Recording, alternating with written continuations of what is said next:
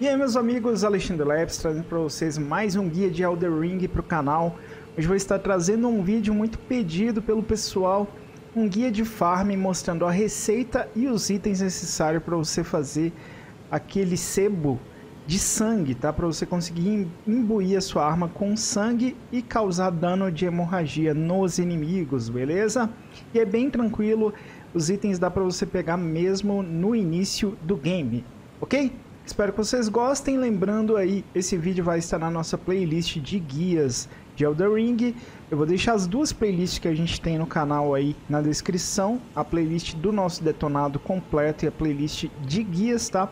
Estão saindo aí em paralelo. Se você puder me dar uma moral, segue lá no Instagram, Alexandre Leps. Eu faço lives na Twitch, é só procurar por Leps TV. O link das redes sociais também está na descrição. Dados os recados então, bora pro vídeo.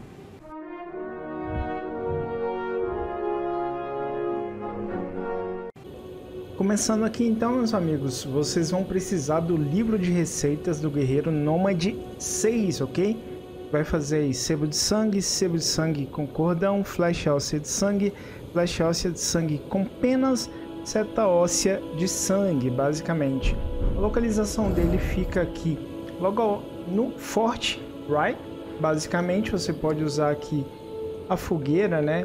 O local de graça, o próprio forte e daqui vou mostrar para vocês rapidamente como é que vocês vão pegá-lo, tá? Bem tranquilo.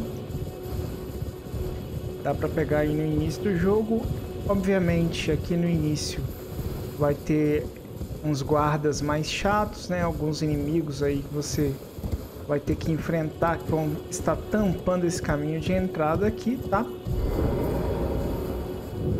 Depois que você já venceu isso é mais tranquilo, vai ter só uns 100 humanos, mas basicamente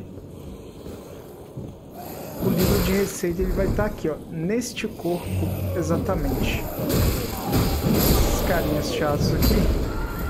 Mas é só entrar aqui e pegar o livro de receitas nesse corpo, beleza? Com isso você vai conseguir fazer aqui o sebo de sangue com cordão e o sebo de sangue normal aí também, beleza? Agora eu vou mostrar os itens que você precisa pegar, os locais de farm aí para você conseguir produzir bastante desse item e utilizar aí durante o combate, beleza? Vamos lá.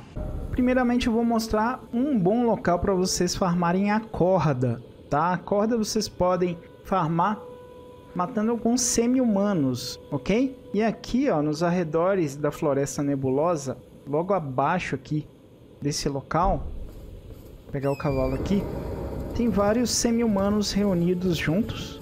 Eu considero um bom local para você matá-los, já que eles têm uma chance de drop de corda, certo? Vou matar todos eles aqui e mostro para vocês na prática. Tá aí. Aqui já tem vários, aqui tem mais alguns. Tem várias cavernas, né, que, que tem semi-humanos também. Se você preferir algum outro lugar, fique à vontade. Mas aqui é um local bem tranquilo que aparece vários deles. Agora você vem aí, ó, ele dropou corda, fragmento de vidro, fragmento de vidro, pedra luminescente. Então, como vocês puderam ver, né, a corda, ela meio que é um item que tem uma chance de drop. Né? Ela é um item um pouquinho mais chato de dropar, mas aí você vai repetindo o processo. Pode vir em maior quantidade, menor quantidade, vai depender um pouquinho da sorte. E aí é só repetir o processo. Vem aqui para os arredores da floresta, né? utiliza a graça, volta até aqui e mata todos eles novamente. Assim você vai pegando a corda, tá? Agora vamos para o próximo item. Próximo item é a resina de raiz, tá pessoal? A resina de raiz, vocês podem vir aqui ó, para a cabana do mestre de guerra, ok? Ela fica aqui. Se você pegar essa estrada que vem para o castelo Tempesvel, ok? Seguindo aqui pela direita, ó, você vai chegar na cabana do mestre de guerra. E bem aqui do lado, do lado da graça, olha só, a gente tem uma, duas, três. Três resinas raiz. E aí, basicamente, o que você precisa fazer é vir para graça, descansa, volta e repete o processo. Então, muito tranquilo. E aí você pode farmar quantas vezes você quiser, indefinidamente, tá? Para farmar a rosa de sangue, basicamente você vai vir para o forte, que fica aqui ó, no sul, ok? Fica ao sul aqui da floresta nebulosa. E aqui ao lado do forte vai ter aqui também o ponto de graça que a gente vai usar como ponto de viagem rápida. Beleza? É um local que dá para você vir relativamente aí no início do jogo sem maiores problemas, tá?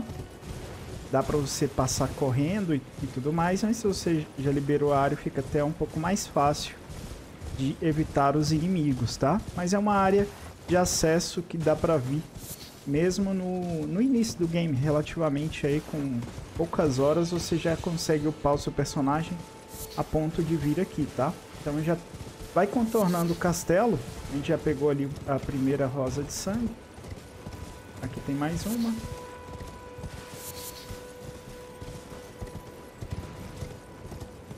E aí é bem tranquilo. Dentro do castelo a gente vai encontrar mais algumas. Dá para evitar os inimigos sem ter que entrar em combate direto com eles.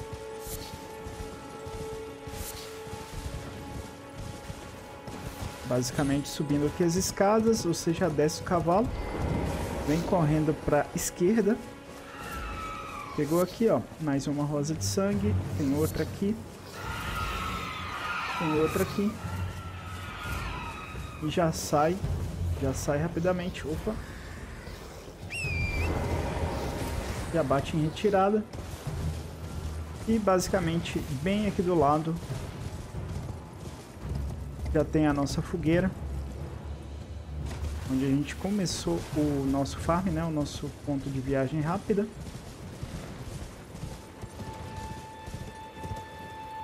E aí é só repetir o processo, tá?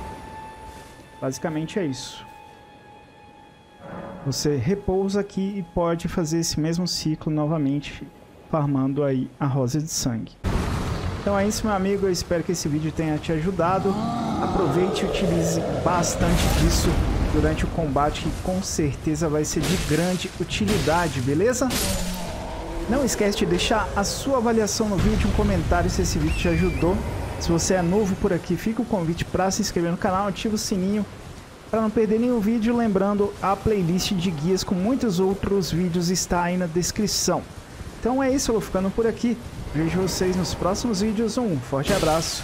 Valeu!